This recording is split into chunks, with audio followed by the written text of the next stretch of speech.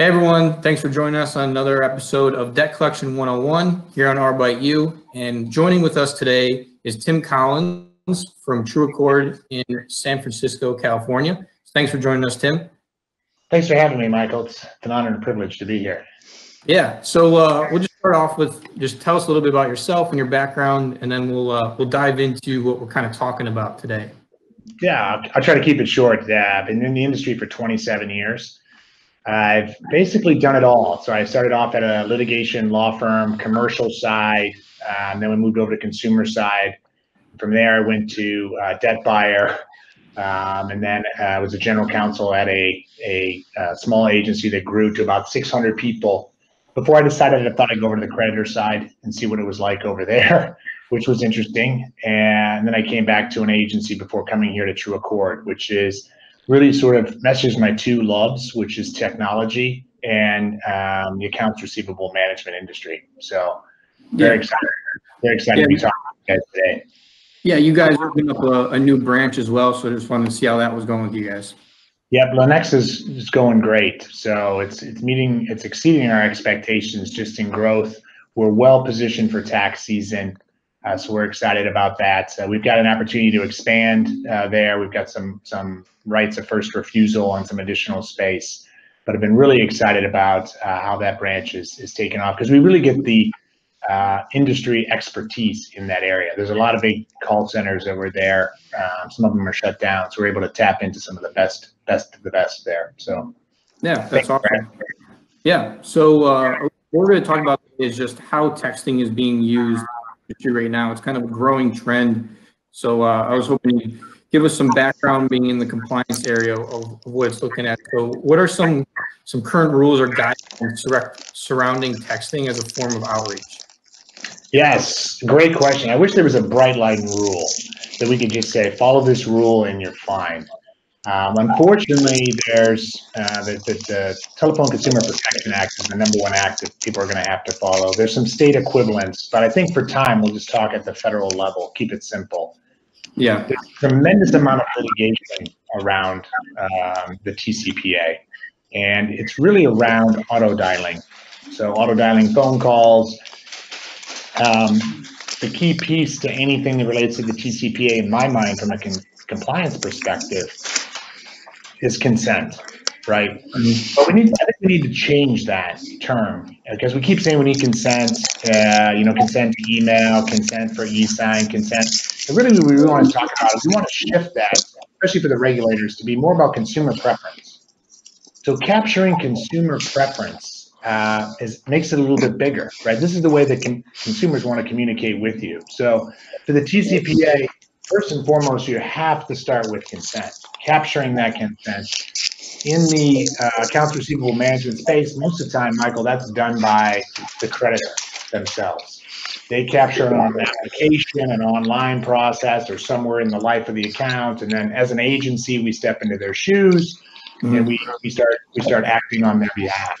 I think we've had a missed opportunity um, as it relates to consent because there's no reason a debt collection agency can't capture consent for itself. Right. So that way, because if you, especially if you see consumers over and over again, maybe for different products, because you have m- multiple verticals in your space, you could have consent for that consumer yourself as an agency. So capturing that consumer preference, you know, as an agency is going to be crucial going forward. Without that, you have a tremendous amount of exposure. $500 for the first uh, text without consent, um, and it's every every text thereafter. That's the first time, and, and then after that, it goes all the way up to fifteen hundred dollars uh, per text. So the exposure.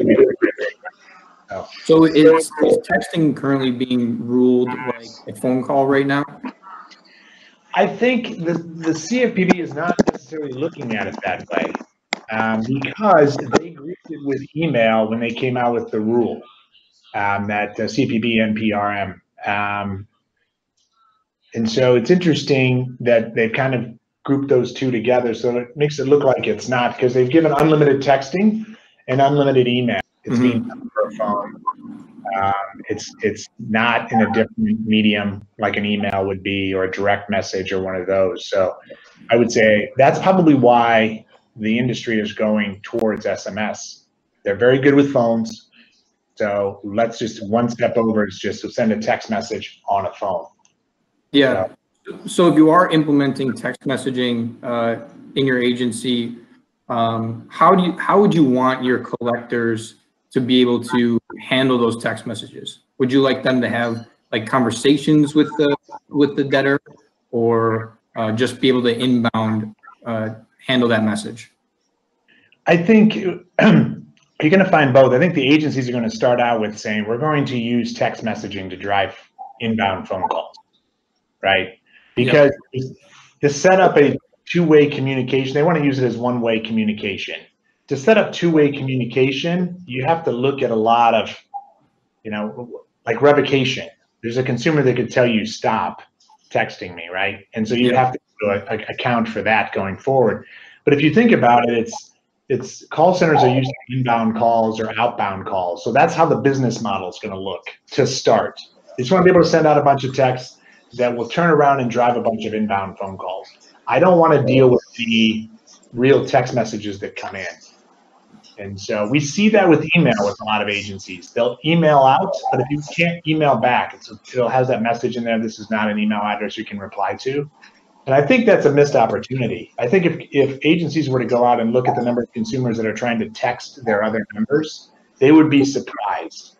Um, they're just not getting those texts. So initial first phase, Michael is going to be all outbound, hoping to drive inbound. What you're going to see though is there's a whole generation that grew up on text messaging. Maybe that Gen yeah. Y, not really the Gen X, but before Gen Z. So they're going to want it. They're going to fire a response right back. And the crucial compliance piece of that is going to be able to figure out which ones are revoking consent.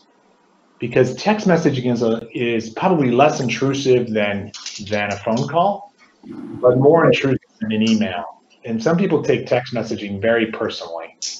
So it's like that's my personal space. The only people that text me are the people I let text me. So now we're in that space. So we're going to see a high level of people revoking consent, and that's really going to key going forward is how do you manage those so you don't send another text message and expose yourself under the TCPA? Yeah, that's kind of what I was going to ask you next was how would you contact like a, a debtor that you don't have a pre-existing relationship with and what would need to be in that text message for it to be compliant or effective?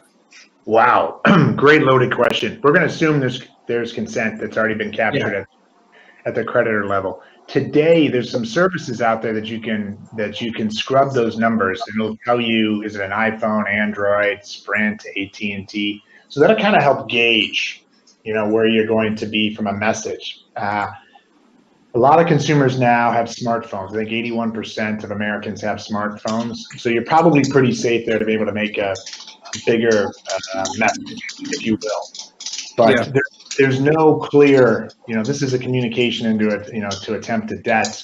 Uh, we we leave certain messages now, uh, voice messages that don't qualify as an attempt to collect a debt, right? We're just seeking location information or something along those lines. So you don't have to have all the disclosures. And that's really where people are running into this. Well, how am I going to get, you know, California's disclosure in there and a statute of limitations disclosure in there? and really what I want, what I think you should do is you should start with a pretty easy state and maybe do a message that is not debt collection messaging. Uh, and then see how it works from there. And then you can expand. You can say, how do I do disclosures? There's a new company out there that I just heard about called um, SendRight. It's N D R I G H T they have the ability to send a text message with a JPEG attached. And in that JPEG, which is just a picture, right? It's a picture of the letter that the consumer could get. So all the disclosures and everything are captured in there. So that's one way to do it if you were trying to use this as cost savings. But I don't think text message by itself is a great idea for tech for, for cost savings, just because of the text restrictions. But putting in there, you know, attempt to, this is an attempt to collect a debt, so the consumer actually knows that that's what it is. Some of those minimum disclosures are the things you're going to have to have, and it's really going to come down to, you know, the debt that you're working in whatever state that you're working, and then working with outside counsel to be able to make sure you get those right disclosures. So yeah, yeah, I, I know you you have to do that when you're sending out any form of mailing. So I was wondering if it would be kind of the same with texting, seeing it is it's essentially the same thing. Yes, you know, you you make up, you bring up a good point because some people would say, you know, you clearly clearly have a letter on one end of the spectrum, and then you mm-hmm. have a phone call on the other, and text messaging kind of falls in between the two because it could be a conversation. I could say, hey, this is uh, ABC collection agency texting you about your debt. You have this is an attempt to collect the debt, blah blah blah. Give you some disclosures. Then you could text me back and say, hey, how much do I owe? Now it starts to look like a conversation, and then I could text you back back, depending on the internal, you know, procedures that you've created. Call me. Here's what you owe, and here's a link to pay it. You know, there's all those things. So now it starts to look more like this conversation. So, Yeah. So Yeah, what I what I've seen kind of um, just from having conversations with a few agencies is they wouldn't necessarily want it to be a form of collecting immediately. They would want it as a form of payment reminder. Yes, which Michael's a great idea. So as the consumer sets up their payment, right, there's a great time to be able to capture consent for your agency, right? That phone number for your agency. So then you could say, okay, hey, do you want payment reminders? And that's a great place to start because they've opted in to you, accepted your terms of service and you're giving them specifics like here's how you opt out if you want to opt out later but we'll send you these reminders. But that is that is a great place to be able to start. Then you start to build this database right of consumers with phone numbers but you're going to have to continue to scrub you know to make sure that with number portability that that number is staying with that consumer. But then you've now got okay now you you're maybe six or nine months down the road and you want to send out some text messages on a new debt and you can tie it back to that phone number. You might want to look at that and say, okay, can we send a text message on that on this? And that really is going to come down to your, you know, risk uh, appetite. But there's Yeah. definitely an opportunity if they've given the agency that uh, consumer preference, that consent. Yeah, yeah, and um, just just kind of like in your opinion, do, do you think that this is going to be like a trend that sticks, or do you think it's going to be something that might fall off? I know uh, just slightly like a big fad last year was voicemail drops, and now Right. you hear about them. Everyone's just talking about texting. So is this a form that's actually going to stick, or like where do you see it going? So I think it's gonna. I think it's gonna stick, Michael. I think you're absolutely right. It's gonna come out out of the gates, hopefully pretty strong, uh, with right party contacts continuing to drop. Agencies are gonna have to go to something. Um, emails difficult to do at scale, so text messaging is not difficult to do at scale. I think the problem is going to be what we're seeing, um, like under the TRACED Act that just passed uh, and was signed into law. That covers SMS too. So it covers text messaging. So what I think you're going to see happening is there's going to be this rush to text message, and you're going to see the carriers or the consumers are going to start complaining. And then the carriers are going to start to put in what we've seen for these robocalls, you know. Yep. But they're going to things are going to get start to get marked as spam. So your text messages are not going to go through. You know, with a with a uh, with a spam as an example on, on an Apple phone, that could be sent right to voicemail and never rings. Then you have the choice of when you want to go and look at it or listen to it. Text messaging, we don't have that capability. There's no voicemail for text messaging. So more likely those text messages are going to get blocked. So to your point, I think probably there's a beautiful 12 to 18 months, depending upon when the agencies start to pick up SMS, where SMS will be very, very effective. And then you're going to see some of the robocallers and some of the, um, you know, the, the people that legitimate calls, but they're going to move over to text too. And Yep. that's when it's going to get start to get blocked. So I would say probably a heyday of 12 to 18 months of SMS, assuming that the industry is going to move to it because a lot of them are afraid of the TCPA. Yeah, Uh, this there. So that may change a little bit, but you start seeing uh, those spam text messages, you're going to know that, okay, this is the start of kind of the end where they're going to put some restrictions in and, and sending a text message is going to be very much like sending a phone call, which is very much like sending an email. You know, Mhm. can't like spam, has to be unique, all those things. So. Yeah.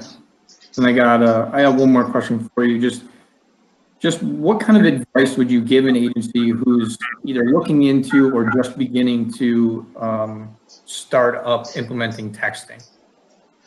in either a compliance aspect or, or what do you think need to be, they would need to know while considering that? Okay, great question. I think first and foremost is really understanding your risk appetite. Because you gave a great example, Michael, about you could start off on the payment reminder side. Great place to start, low risk, you capture consent, and then expand from there. Depending Mhm. upon your risk appetite, though, you could easily, you know, verify that your clients have consent. And when and when I when I talk about consent, I always talk to clients about well, what's the process for revocation of consent? And if they don't talk about that they have a process, then that should be a red flag to you, because that means there's consumers in there that probably have revoked consent that the the creditor is just not telling you about, so you have potential exposure there. But I would start with okay, what's your risk appetite, and figure out buckets where you could start you know, start off with the policies and procedures. It's about consumer preference more so than just consent. It's a bigger, bigger world when you use the word consumer preference. How do you capture that for your agency? And then slowly build on that program. But I think the number one thing that people are going to miss is that capturing, you know, uh, the revocation of consent. Yeah, and where agencies are going to get exposed because there is a company out there called um, Augusta.ai, and what they do is they build they built this um, process where they look at all the text messages that comes back, and right now they they their um, claim is that there's about thirteen thousand ways to say stop texting. And so capture using a tool like that can really help you capture those ones. Okay, we're not going to text that number again unless we get consent, either through a website or somebody gives us consent over the phone or one of those things. So no matter what program you build, uh, capturing uh, the revocation of consent is going to be is going to be what's going to set the good agencies apart from the great agencies. So all right.